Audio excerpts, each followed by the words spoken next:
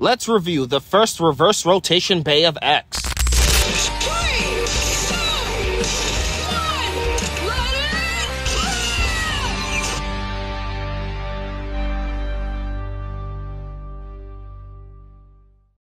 Hello Beybladers! Welcome back to another Beyblade X unboxing video. Today we're unboxing the BX34 Cobalt Dragoon 260C Deluxe Starter. This is the first reverse rotation Beyblade of Beyblade X. That's why the box's reverse colors being black and the symbol on the top left corner of the box does stand for left rotation. This also pays homage to the original Spin Dragoon that released during Beyblade's first generation back in 1999. Cobalt Dragoon is a left spinning attack type Beyblade, and it's a deluxe starter, so it comes with a blue left spinning string launcher. So Chrome Ryugu is the owner of this bey in the Beyblade X story. He is the leader of Team Pendragon. You can also see this little image here that highlights the fact that it's a different spin direction, meaning it's going to move in the opposite pattern of a normal Beyblade X top like UX uh, Dran Buster, and as a result, the two beys will clash directly in battle rather than having to chase each other down like what you see traditionally in an X battle. The parts for Cobalt Dragoon include the Cobalt Dragoon blade, the first left spinning blade of X, and uses its four upper blades for upper attack, the 260 ratchet, which is a ratchet that changes performance based on the base spin direction, and the Cyclone bit, a bit that has a spiral cyclone-like shape designed for the counterclockwise spin direction, meaning when it's paired with a left spinning bey, it has improved aggression and better attack potential. And you can also see once again the left spin string launcher at the very bottom here. Now let's begin unboxing the first left spinning X Beyblade.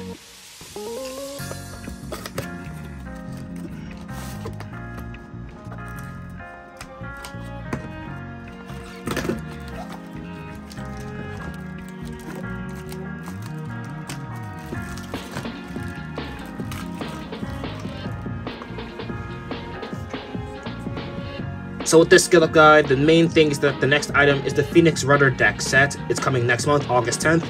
It is important to note that it's also releasing alongside a booster that contains the UX variant of Leon Claw, Leon Crest, and of course the recent random booster also released, so next time I'll be unboxing the Black Shell random booster. Alright, so here's the Cobalt Dragoon blade. Cobalt Dragoon is the first left spin blade of X, and as you can see, it is very similar in design to Cobalt Drake, which does make sense as it is a variant of that bey.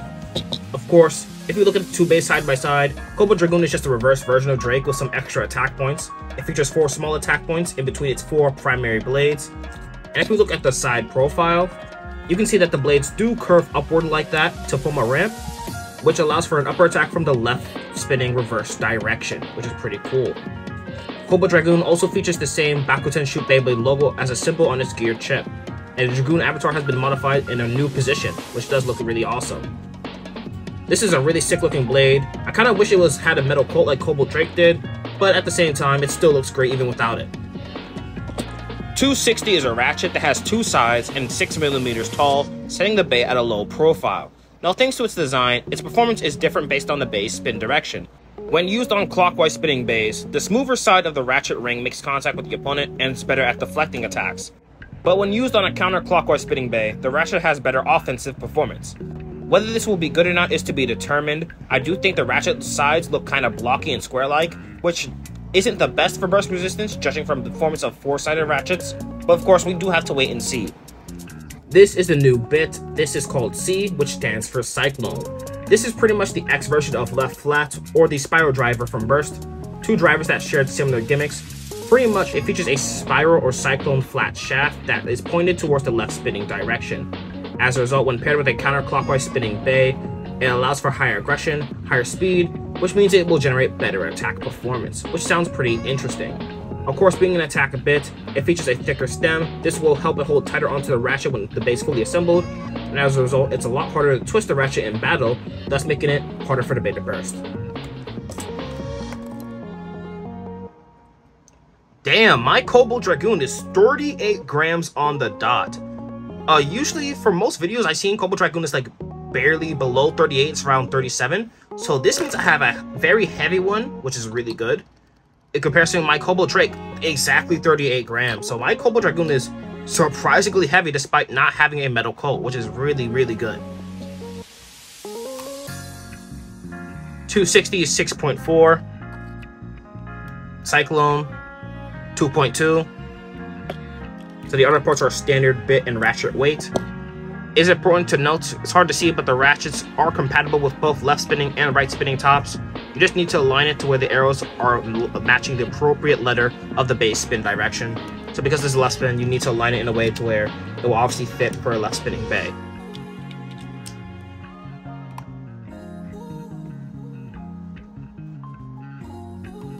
It's hard to see, but the full bey is 46.5 grams, so that's pretty hefty.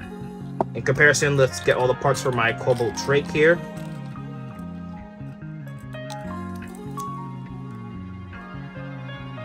Forty-six point four. So yeah, they pretty much weigh about the same. So Cobalt Dragoon, I'm just gonna hit like a truck. It's definitely gonna win an attack match as long as it outweighs its opponent during a head-on clash. The final thing to note is the new Beyblade X string launcher, the L version. It even has the letter L against the letters Beyblade X string launcher L. So it's a lighter shade of blue compared to other launchers we've seen, has a white launcher prong and some white covering on the head little handle here. The design is slightly different, I'm not sure why they decided to change the design like this, but you know, not a big deal. I do like string launchers, I prefer them to winders personally. I know winders apparently are a little bit stronger, but in my experience, I think string launchers are still better. That's just me though. But just to show it off, no, you can't put a right spinning bey on this launcher. If you try to, the bey will just fall off. It will not stay on or assemble.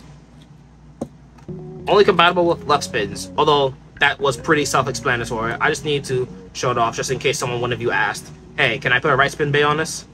No, you can't. But yeah, we got the new Cobalt Dragoon. So let's get into a test spin and some test battles. Three, two, one. Let it rip! Whoa, this bey is fast! And look how it constantly used the extreme dash.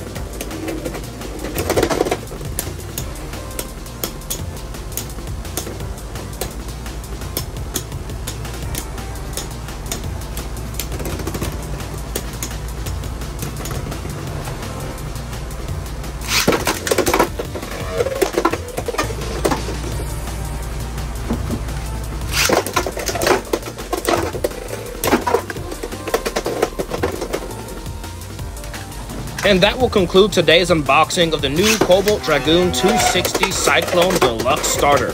I mean, this is the first left spin release of X, and if you for some reason decide not to buy it, I can't really call you a Beyblade fan at that point. You should definitely get this Bey, as it's one of the best releases by far. Looks like you made it to the end of the video. Don't forget to leave a like, make a comment, and consider subscribing to my channel. And if you do, hit that notification bell to get notified when I upload new videos. Thanks for watching.